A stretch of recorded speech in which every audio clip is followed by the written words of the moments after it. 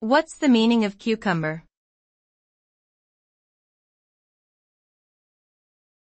Cucumber.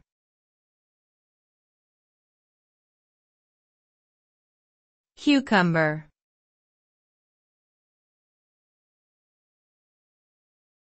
Cucumber.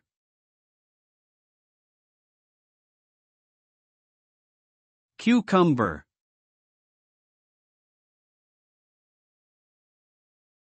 A cucumber is a long, green, cylindrical vegetable with a crisp texture and a mild flavor.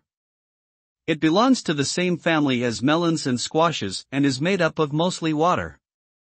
Cucumbers are low in calories and high in nutrients such as vitamin C and potassium.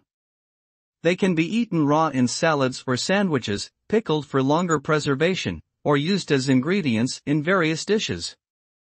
In some cultures, cucumbers are also used for cosmetic purposes due to their hydrating and soothing properties.